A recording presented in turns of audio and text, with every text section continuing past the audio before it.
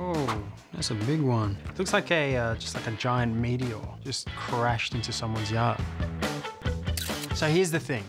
Sinkholes are a phenomenon that freak me out. How can the ground be sturdy one second and then before you know it, it's sucking up buildings and cars and children? So what causes sinkholes? And can we predict them? There's a popular holiday spot in Queensland, Australia, where this has happened more than three times. The people didn't see it coming. You drive, mate. Yeah, on the wheel. Jason and wife Mel nearly lost their caravan that night. There was a lot going on that night, that's for sure. And then you could just keep hearing this funny thud, thud sound.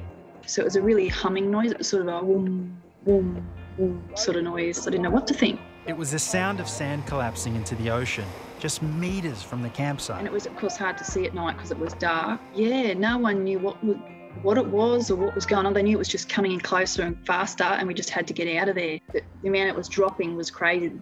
How quick it was going. Partners and kids and wives and whatever running around and screaming and crying. Turned to a bit manic, and people were just throwing things in. Like we didn't even have time to fold our beds up. We just threw tables and chairs on the on the bed. It was like a, a war zone down there.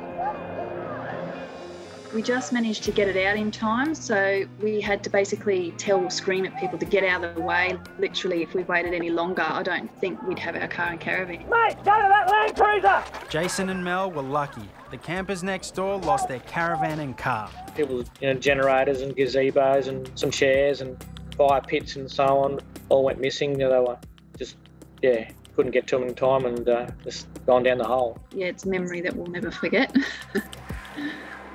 Headlines dubbed it a sinkhole, but what happened at Inskip Point was something else entirely.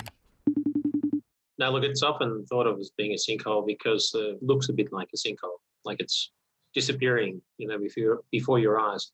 In fact, it's just a, it's a slope instability. There was one crucial thing missing a hole. A sinkhole is normally uh, um, a near circular feature, and this is not. This is like an arc. It's a bit like taking a spoon, a large spoon, and taking a bit of a scoop out of the coastline. Sitting at the gateway to the largest sand island in the world, Inskip Point is part of an unstable sandy peninsula. So what we see at Inskip, these subvertical pillars of sand, they, it's just a precarious um, uh, equilibrium. Normally, we don't find sand piled that way in a natural condition. Too wet, too steep. Besides, every now and then to, to give way.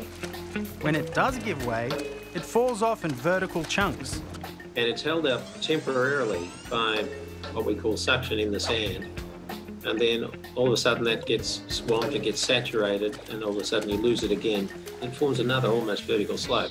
Like a sandcastle, wet sand helps the shoreline stay upright.